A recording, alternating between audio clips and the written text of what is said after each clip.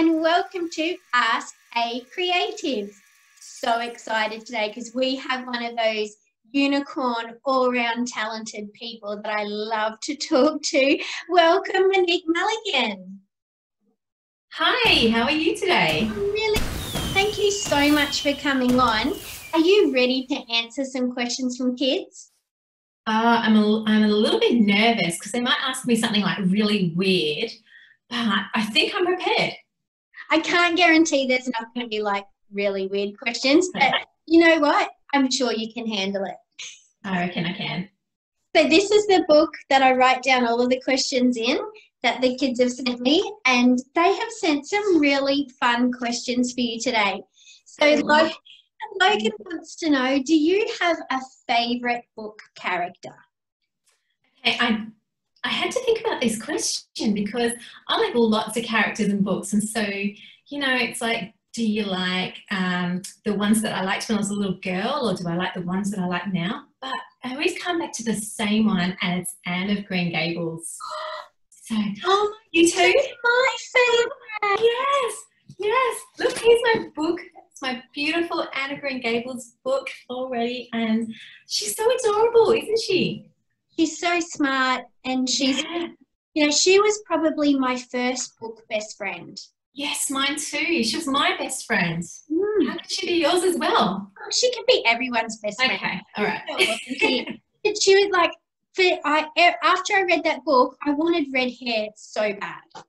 Yes, yes. I didn't. I sort of think I just wanted her to be my best friend, and I wanted to talk with big words all the time, like her. Yes, me too. Oh my gosh, I love doing this show because we find out we have so much in common. So yeah, true. yeah, so absolutely agree. Absolutely agree with that one. Now, um, who's this from? Tara asks, "Have you got a favorite place?" Favorite place? I reckon I have a bit of a soft spot for Paris because I got to go there last year, and that Did was you? amazing. Yes, yes. My first time in Paris, and it was just everything I dreamed of. What did you love about it so much? Um, I loved, I loved just seeing all the things that you see in books and you see on TV and, and you know, like the Eiffel Tower and stuff like that. Although that wasn't my favorite, I actually really loved going to all the art galleries because I love art galleries. Yes. So I reckon running through to find the Mona Lisa before the, the Louvre closed and getting there just in time, that was pretty exciting. Yes, my favourite was the Musée d'Orsay, I think it's Oh, yes, yes. Yes, I loved that. I could have spent all day there. It was so Yeah. Did you get emotional? Because I cried looking at the Impressionist pictures. Yes. Well, I was actually only 17 when I went there. So it was a long, long time ago, but it's one of my dream places to go back to now that I'm old. Yeah, yeah, yeah, same. Well, I had to wait till I was old.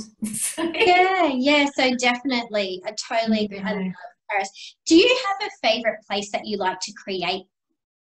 Like, do you have a, a spot that you create stuff in? Well, probably the room I'm sitting in right now is where I do most of my oh. creating. So I have this little office, and you can see behind me, you can see books on the shelf, lots of books that I'm keeping. I'm sitting on a comfy chair, and you can't see this very well, but look who's with me. This is Beagle. Oh, hello. Oh, what a cuddly looking cat. She's beautiful. She's going to get annoyed now. You watch. She'll she'll go. She's going to get up on the. There you go. She's going to sit on my stuff because she does that when she's annoyed because I moved her. But she comes and sits on my lap sometimes when it's especially winter. She likes to sit on my lap and she gets really huffy if I don't let her. Oh, Yeah. she is adorable. What a good riding partner you have. Yeah, she's wonderful. Um, Lucas asks, "What's your favorite way to be creative?" Um, I reckon I, I like lots of creative things. So I love to write, and that's probably my number one thing because I love to make books. And then I love to take photos, and I really like taking photos of flowers and you know getting really close to things and seeing all the detail. And I love cooking and making fancy things for people to eat. I really love treating them with food. I don't know why. It's really fun for me. Um, and I also love to draw. Do you want to see a picture I drew? Yes, please. Okay, cool. So this is, I had this already. I love, this is something I find really relaxing to draw. And it's like a mandala. Can you see that? Okay. Wow. Yeah, so really, really detailed. How long did it take you to do that? Oh, a few hours. I haven't done one for ages, but it's, I find it really relaxing to just sit and just draw those. And also, this is like, that's the, that's Fergus the farting dragon, which I don't know if you can see him really well, but that's my kind of like idea for a story that I have that got turned into a book. So this is not the real Fergus, but it was my idea Fergus. So I kind of like drawing too. Wow, you are like the unicorn of creative people.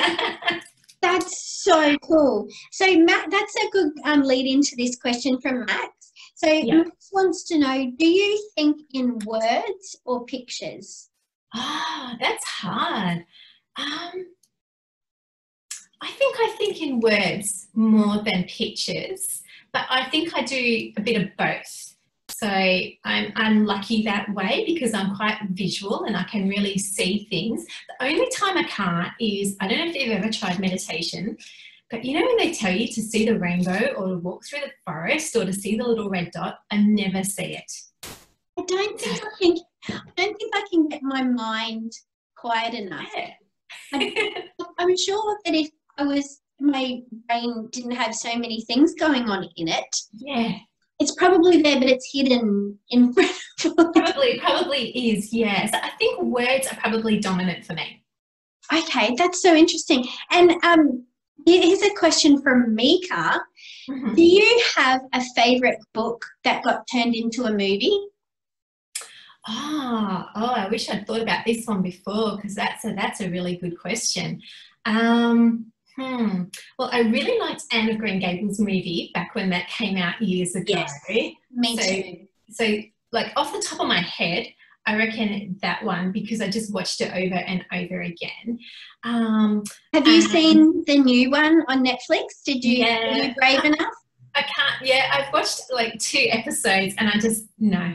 It's so different. Like it's Yeah. almost like you've just like if you stick with it, you get used to it. But I think for those of us who there is only one Anne Shirley, I think it's Yeah. really hard. But yes, try it again. Stick with it. It's a different sort of love. yeah, all right, I'll take that advice. Any other ones? Ah, I can't think of any right now, like so many, but they're probably not so much kids ones. Yeah, Yeah. yeah, true. Um, okay, here is one from Georgia. Mhm. Can you sing? Ah, so I reckon I can sing because when I was in year five and six, I was in a choir, a school choir. So obviously I had to be able to sing to get into the school choir, right? Yeah. But then I got to go and sing at the Sydney Opera House with thousands of other kids. And back then, this is such a long time ago, they had this place called the Sydney Entertainment Centre. And I got to go sing at the Sydney Entertainment Centre, like with thousands of other kids. And no one could probably hear my voice, but I was still singing. So, yeah, I can Yes. sing. But if you ask anyone else, like the people I work with, they'll say no.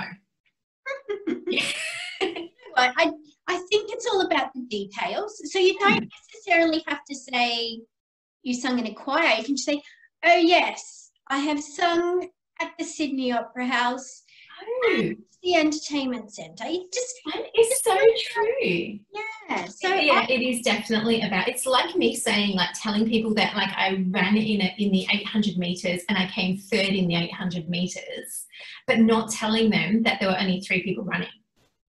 own it. Yeah, Own it. absolutely. Absolutely. Yeah. Wow. If there was three people in that race, I would have come fifth. Right. Yeah. Okay. I can't run it all. So I think you did really awesome. I, I reckon I did as well. Yeah. Uh, okay, here is a question from Oliver. Mhm. Are you scared of anything? I'm scared of. I don't like sharks. I kind of get a bit kind of heebie-jeebie when I see sharks, pictures of them and stuff like that. And I don't like blood very much at all. Mm. So you would never have been a doctor? No, no. And you know, I was thinking I might be a nurse. And when I was about 14 or 15, I went to, and did some work experience. And that was enough to, to definitely convince me that I couldn't be a doctor or a nurse. No. That's really interesting because Lachlan wants to know what did you want to be when you grow up? Yeah, so I wanted to be a couple of things. I found this book once and it had what I wanted to be. And I was probably about five when I wrote it. So when I was five, I wanted to be a nurse because I had a nurse's outfit, which was really cute. And the cat's back on my lap. Again. Yes, yes. She loves me. She's, she's forgiven you for me. She has, yeah. Um, and I wanted to be a grandmother. I don't know why. And I wanted to be a storyteller. So you wanted to be a storyteller since you were yeah, five. yeah. Mm. And you're doing it, and you're rocking it out. That is so cool. I know it took a really long time, but yeah, I'm finally doing it. Yeah, absolutely. Mm. I think that's amazing. Um, Luna wants to know what's the best part about what you do. I love to make make my words into or my ideas into stories. And then i really love to share those stories. And i think the really best part is when you when you read them or when you you see people reading them and they're laughing and smiling mm. that makes it all worth it. Yeah.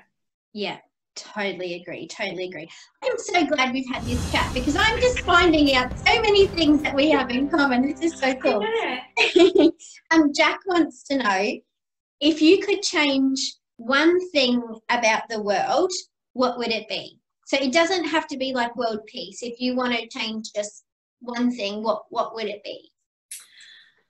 I I just really want people to be kinder to each other.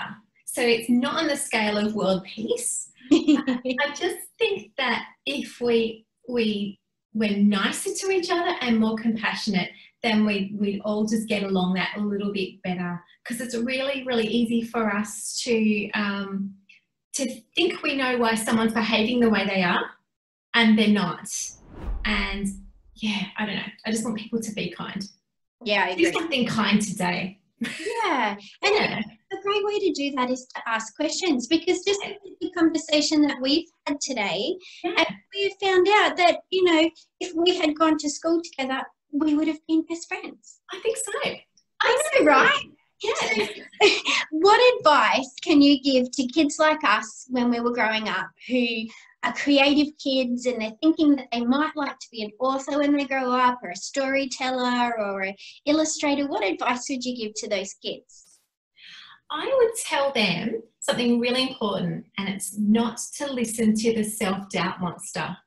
So the self-doubt monster is, is this is my, this is what I reckon the self-doubt monster looks like. So that's my picture of the self-doubt monster. Wow. Yeah, so I sometimes run courses for kids and I talk to them about self doubt. Because the thing with the self doubt monster is whenever you believe in yourself or you think you've done a really good job with something, whether it's creative or anything at school, then the self doubt monster comes along and tells you that you haven't and it says, you know, you can't do that really. It wasn't really that good. And I reckon everyone I know has got a self doubt monster who hangs around on their shoulder.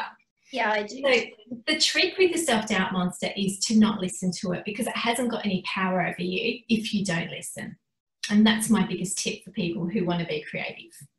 That is amazing advice. That is so awesome. And we do, we all have that little monster Yes, yeah, of definitely. stop us from being the best be the best us that we can be. So yeah, absolutely. Yeah. Now I I think that kids watching this are you know their brains are ticking over and there might be some other questions yeah. that they might like to ask you or maybe they want to talk about that self-doubt monster what's yeah. the best way that they can get in contact with you well, if you go to my website, which is moniquemulligan.com, then I have a contact page and you can send me emails through that contact page. And you can also find me on Facebook at Monique Mulligan Author. And you can send me messages through there and, you know, or your mum and dad can and and ask a few questions about that. And I'm more than happy to answer. And I love seeing pictures of, of, of kids reading my books or, you know, if they want to send me those too, that's awesome. Awesome. That is so great. Thank you so much, Monique. I will put those details in the video description. So if kids want to get in contact with you, I'll make it really easy um, and they'll be able to get, uh, get in contact with you. And, and I just wanted to thank you so much for sharing those answers with us today and being so inspirational to kids who, you know, who want to embrace that creative part of themselves.